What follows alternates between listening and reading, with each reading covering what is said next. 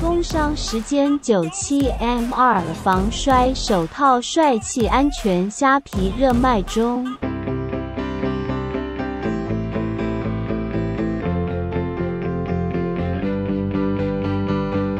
好，大家好，我是小鱼。今天我们要来测试我们的 H2 的马力的啦。好，就是其实我买机买那么久，我一直没有测试，是说这一台呢，它的官方公布呢是一百六十匹。最大一百六十匹，那我有问过官方说，那我像我自己的车马力那么大，测试上去的话会不会有问题？他们说马力机它的公布呢，纯纯粹只是一个精准数字而已啦。好，那当然它的超过的马力它是没有问题的，不会坏，然后都没有问题。那可能会有一点点误差。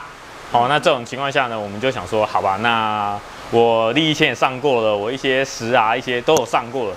那我们这一次呢，就要来拉一下 H2 的马力，好，要知道一下我这 H2 马力，因为这一个呢，在之前呢有去刷过电脑，好，有听说有刷过电脑啦，好，有刷刷成两百三十几匹、两百四十匹左右的。那如果照轮下马力的话，大概会是在两百到两百一左右。好，大概会扣了二十匹到三十匹左右了。那我们就是要来上去试看看它到底有几匹。好，因为刷电脑这种东西，那平常我们在骑真的用不到啦。好，纯粹只是爽而已。那机身就是快嘛。那平常很快，其实我也不知道到底骑了多少。好，所以说反正就这样。那我们接下来呢，我们就现在把它上机器，然后上去拉马力。二话不多说，Go。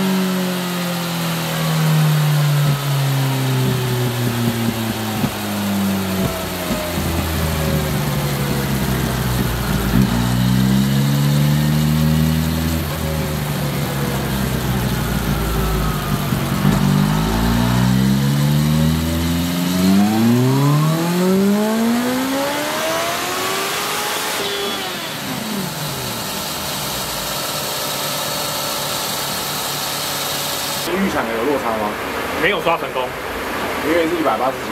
对，一百八十几，原厂是两百一十匹，嗯，两百一十匹轮下马力一百，哎，掉二十多，就乘以零点八嘛，差不多啊，你扣二十嘛，那你扣二十的话，大概就是一百九，这个刚刚一八八一八九左右，我第二次只是在想要测那个引擎出力啊，可能那所以这个大概就两百一十匹跟。台规就是标准，没有限马力而已啊。可是这没有刷回原本的两百四十匹啊。对，这当初有说刷刷的话，我觉得应该只是刷顺而已。对，万一到时候电脑来的时候，我们再试看看。可能又是一个轰炸，超可怕的，很恐怖哦，很可怕。这种这种这种大马力的车爆，所以再拉那个汽车的时候，那些都超恐怖的啊！哇，棒，那个干炸一个他妈的，吓死人！都出怪好，那我们现在拉完了哈，然后刚刚一整个震撼，呃，那个很可怕哎，超可怕哈。然后最主要是 我们的排风管就被烧破了，突然间就冒烟，然后每个人拍我哇啊哇，排风管被烧破了哈。那个只要拉这种车种啊，因为排气温度都太高，然后自然而然它这种。塑胶管都不行，反正之后呢，我会再把它换成金属的，然后让它排气更好，然后更加大，再把这些设备去提升一点点。好，那先不管，我们现在已经拉完了，然后给大家看一下哈，我们简易的拉了两次、两三次而已啊。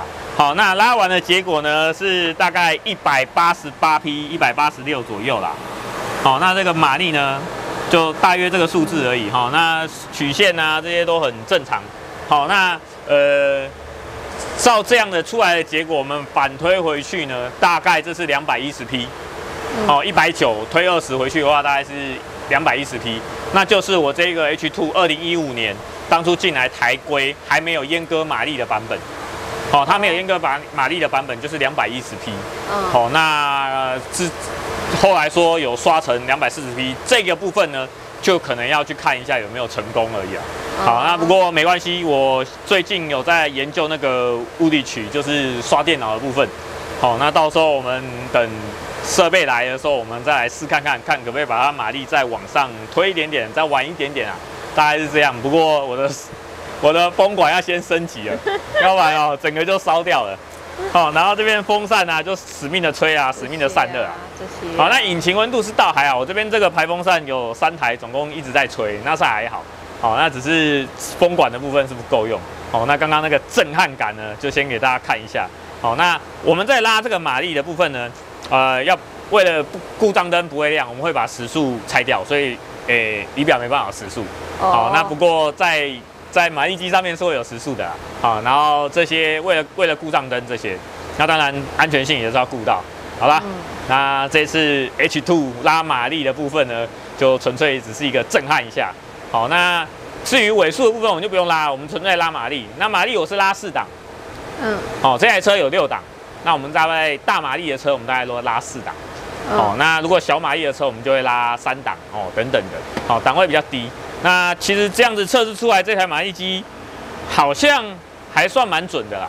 嗯，好，超过马力它还是算得出来。其实这个就是设置上的问题啊。好啦，那今天就到这里。哦，喜欢我的影片记得按赞、订阅、分享小铃铛。之后有什么在测试的时候再给大家看哦。拜拜。